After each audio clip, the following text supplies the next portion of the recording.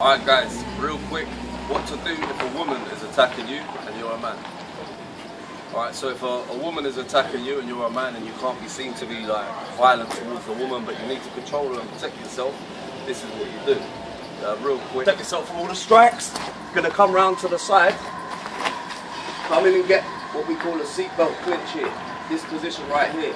This hand, I'm gonna take it, trap it into me. So notice how I've got the hand inside the elbow crease. I've got this hand on the wrist and I'm hip to hip position here. Pull that in to yourself. If they continue to struggle, you've got several options here. I could very easily take down to the ground and control.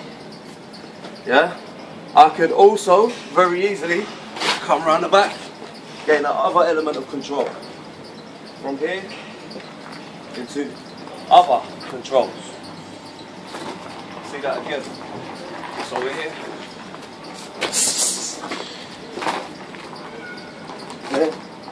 In, tight, and you've got that control. From there, swing round the back, that control. From there, swing round into that control. To move the person around. You want to drop them, on concrete and that stuff. Come into here in, slide across. That's how they start. To down to the ground. Into here, take down, shift over, gain control.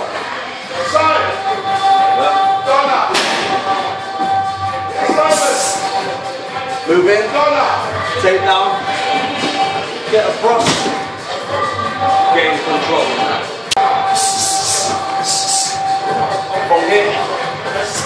Seatbelt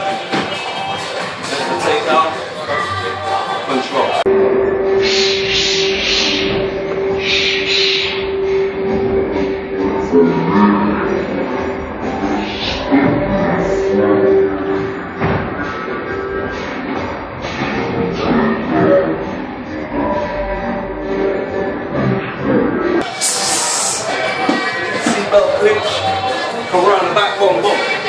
Nelson this position. Step in front. Right out. For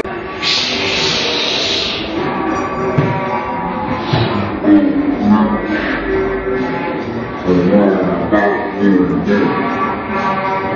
I.